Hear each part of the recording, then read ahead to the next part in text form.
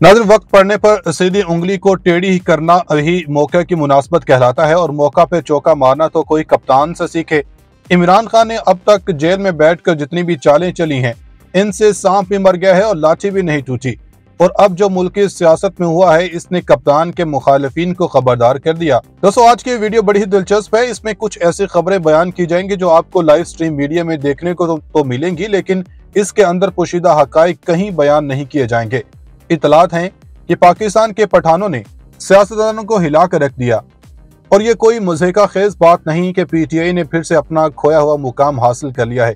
खबर आई है खैबर पख्तूनखा से, जहाँ पठानों के जमे गफीर ने पीडीएम की सारी अकड़ तोड़ कर रख दी है।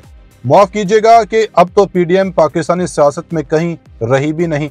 और तरीके इंसाफ ने कप्तान के मुकाबले में जो वर्कर कन्वेंशन किया, वो एक शानदार जलसे में तब्दील हो गया। और ये न सिर्फ़ तब्दील हुआ बल्कि दुश्मनों पर भी बावर करवा गया कि कप्तान को जेल में होने से फ़र्क नहीं पड़ता। असल बात तो यह है कि अवाम इनके नुमाइंदों को भी उतना ही प्यार करें। एक और खबर ये आई है कि खैबर पख्तूनखा के बाद अब सुबह पंजाब में भी तरीके इंसाफ को अहम तरीन मुकाम हासिल हो गया है। वो मुकाम क्या है?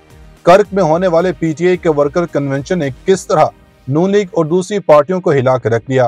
क्या तरीके इंसाफ अब पंजाब में भी कामयाब जल्द से करने वाली है? इस पर रोशनी डालने से पहले हम आपको एक इस खबर के बारे में बता दें, जिसके बारे में हमारे मीडिया में बहुत चामगोइयाँ हो रही हैं, और वह इमरान खान से जेल में मिलने वाली शख्सियात ने इन्हें कुछ ऑफर्स की हैं, और ये ऑफर्स देने वालों ने अडेला जेल को अपना दूसरा घर बना लिया है, क्योंकि कप्तान यकसर तमाम ऑफर्स को रिजेक्ट कर रहे हैं, और इनसे मुलाकात वालों की तादाद बढ़ती जा रही है। लेकिन यहाँ गौर तलब सवाल ये हैं कि इमरान खान से जेल में अब किसने मुलाकात की है? इन्हें अब कौन सी ऑफ़र मिली है? ये आदि हुकूमत ले लो, जैसी ऑफर्स के पीछे क्या कहानी है? कौन किसे आदि हुकूमत देने की पेशकश कर रहा है? कौन है जो इमरान खान को जेल में ही कामयाब अप्रोच कर रहा है? कर्क जलसे में पठानों ने किस तरह निगरान हुकूमत की ईंट से ईंट बजा दी है? क्या खैबर पख्तूनखा के बाद अब पंजाब में भी कप्तान का कोई खुफिया मिशन पूरा करने वाला है? इमरान खान से मिलने जेल कौन पहुँचा? बड़ी खबरें आ गईं। इन सारी खबरों को इसी वीडियो में एक एक करके डिस्कस किया जाएगा। आपसे गुजारिश है कि वीडियो को एंड तक लास्ट में देखिएगा। नाजरीन इमरान खान की पाकिस्तानी सियासत में मौजूदगी ने तमाम सियासतदानों के औसान खता किए हुए हैं। हर कोई बस माइनस खान के एजेंडे पर एक गामजन दिखाई देता है और नून लीग जो हुकूमत पर कुंडली मार कर बैठने का ख्वाब सजाए बैठी है, इसका यह ख्वाब अब बहुत जल्द टूटने वाला है। इतलात है कि पाकिस्तान तरीके इंसाफ ने तमाम तर दबाव और पाबंदियों के बावजूद कर्क सिटी में वर्कर कन्वेंशन का इनका किया। जिसमें हज़ारों कारकुनों ने शिरकत की। पीटीए के मरकजी नायब सदर शेर अफजल मरवत ने कन्वेंशन से टेलीफोनिक खिताब किया। पीटीए ने वर्कर कन्वेंशन के लिए इंतजामिया को दरखास्त दी थी, जिसकी मंजूरी नहीं दी गई।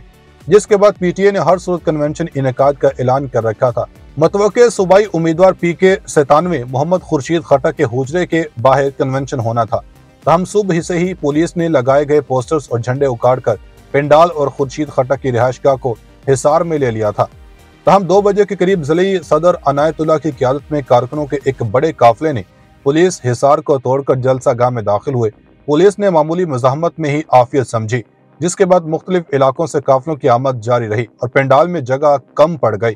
कन्वेंशन से रीजनल सदर सबक M N A Shahid Khattak मतवक़ उम्मीदवार पी के सतानवे, मोहम्मद खुर्शीद, ज़िले सदर अनायतुल्ला तहसील chairman headquarter Azmat Ali, major Sajjad Sanaullah Shah और दीगर ने खिताब किया। मरकजी नायब सदर शेर असल मरवत ने इस्लामाबाद से टेलीफोनिक खिताब किया। मुकर्रीन का कहना था कि इलेक्शन का ऐलान हो चुका है। तमाम जमातों को इंतबी मुहिम की आज़ादी है।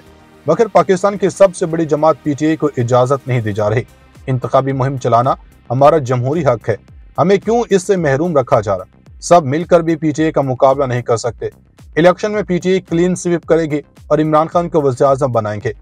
दूसरी जानब पाकिस्तान तरीके इंसाफ के मरकजी नायब सदर एडवोकेट शेर अफजल मरवत, सबक रुकन असम्बली फजल हकीम समेत दिगर के खिलाफ वर्कर कन्वेंशन के इनका पर मुकदमा भी दर्ज कर लिया गया। तहरीक इंसाफ के तर्जमान का कहना है कि इलेक्शन कमीशन ऑफ़ पाकिस्तान मरासला बाजी से आगे बढ़कर लेवल प्लेइंग फ़ील्ड को यकीनी बनाने के लिए मौसर हमत अमली इकदाम उठाने में नाकाम है। चीफ जस्टिस मुल्क में जारी रियाती दहशतगर्दी का फौरी नोटिस लें और रियाती कुत और असलहे के पुरअमन और निहत्ते शहरियों के खिलाफ इस्तेमाल किए जाने के खिलाफ इकदाम करे। तरीके इंसाफ को पुरअमन सियासी सरगर्मियों से रोकने और शहरियों पर गोलियाँ बरसाने वालों के खिलाफ कोई सख्त इकदाम किए जाए। नाजिन, अब आपको बताते हैं कि इमरान खान से जेल में मिलने कौन पहुँचा है और क्या ऑफर्स की गई हैं। सहाफ़ी और तजिया निकार हारून रशीद ने दावा किया है कि इमरान खान से मुख्तलिफ़ मुलाकात के लिए मुख्तलिफ़ कारिंदों को अडेला झेल भेजा जा रहा है और अब की बार इन्हें जो पेशकश की गई है वो ये है कि इमरान खान को कहा गया कि वो मुल्क छोड़कर फरार हो जाएँ और दो साल बाद इन्हें दोबारा सियासत में जगह दी जाएगी। हुकूमत, यानी पंजाब और के पी के में पी टी ए की हुकूमत होगी। लेकिन हमेशा की तरह इस बार भी इमरान खान ने दो टोक इनकार किया है। उधर दूसरी जनब, इमरान खान को सियासत से निकालते निकालते नून लीग और पीपल्स पार्टी अपना ही बड़ा नुकसान कर बैठी है, क्योंकि नए आने वाले पार्टी ने इनकी जगह लेने की ठान ली है। इतलात है कि इस्तेकाम पाकिस्तान पार्टी ने कम अज कम तनख्वाह पचास हज़ार करने, गरीबों को मुफ़्त बिजली देने का ऐलान कर दिया। इस्तेकाम पाकिस्तान पार्टी के चेयरमैन जहांगीर तरीन ने वर्कर कन्वेंशन से खिताब करते हुए कहा कि मैं एक सियासी खानदान से वाबस्ता नहीं। मेरा कोई रिश्तेदार सियासत में नहीं था। हम गैर सियासी लोग थे, हमें ऐसा आदमी मिला जो रिवायती सियासतदान नहीं था। सबने मिलकर एक शख्स को सपोर्ट दी कि वाकई नया पाकिस्तान बनाएँगे। इन्होंने खिताब करते हुए मजीद कहा कि यह जरी शहर और जरी इलाका है। मैं ख़ानदानी तौर पर ज़मींदार नहीं था, मैं अपने शौक से ज़मींदारी में गया। अल्लाह ने कामयाबी दी। हम इस मुल्क को ज़मींदार मुल्क बनाएँगे। हम सनती शुबे में सरमाकारी लेकर आएँगे। जहांगीर तरीन ने कहा कि सियासी पार्टियाँ वादे करती हैं, ये कर देंगे, वो कर देंगे। सियासतदान किए हुए वादे पूरे नहीं करते, हम अंधे वादे नहीं कर रहे। जो भी वादे कर रहे हैं, उसे पूरे करेंगे। हर घर में मयारी तालीम होनी चाहिए। पहले भी नया पाकिस्तान बनाने के लिए दस साल कोशिश की। अब हम नया पाकिस्तान बनाएँगे और बेहतरीन बनाएँगे। अब्दुल अलीम खान ने खिताब करते हुए कहा कि नौजवानों को बिलासूद कर्जे फ्राहम करेंगे। हम नौजवानों को नौकरियाँ देंगे और इस मुल्क में रोज़गार सनती तरक्की के साथ मुमकिन है। इस मुल्क में नई इंडस्ट्रियाँ लगानी पड़ेंगी। हर यूनियन काउंसिल में एक डिस्पेंसरी बनाएँगे, जहाँ मुफ़्त इलाज होगा। इस्तेकाम पाकिस्तान पार्टी के चेयरमैन ने कहा कि हमारी पार्टी ने तमाम स्कूल ऐसा बना देने हैं, जैसे अंग्रेज़ी स्कूल होते हैं। हम अस्पतालों को ऐसा बनाएँगे कि लोग बाहर से आएँगे। मीशत मुल्क की जान होती है। मीशत को चमकाने के लिए यहाँ इंडस्ट्री लगनी ज़रूरी है। जहांगीर तरीन ने मजीद कहा कि सबसे अहम चीज़ है रोज़गार मिलना। हमने अपने मंशूर में एक एक चीज़ शामिल की हुई है। ये मुल्क बड़ी मुश्किल से बना था। हिंदुस्तान के अंदर से कायद अजम ने इस खत्े को निकाला। ये मुल्क इस्लाम के नाम पर बना था। जब तक गुर्बत नहीं मिटाई जाएगी, मुल्क आगे नहीं बढ़ सकता। खिताब करते हुए कहा कि मैं एक सियासी खानदान से वाबस्ता नहीं। मेरा कोई रिश्तेदार सियासत में नहीं था। हम गैर सियासी लोग थे, हमें ऐसा आदमी मिला जो रिवायती सियासतदान नहीं था। सबने मिलकर एक शख्स को सपोर्ट दी कि वाकई नया पाकिस्तान बनाएँगे। इन्होंने खिताब करते हुए मजीद कहा कि यह जरी शहर और जरी इलाका है। मैं ख़ानदानी तौर पर ज़मींदार नहीं था, मैं अपने शौक से ज़मींदारी में गया। अल्लाह ने कामयाबी दी। हम इस मुल्क को ज़मींदार मुल्क बनाएँगे। हम सनती शुबे में सरमाकारी लेकर आएँगे।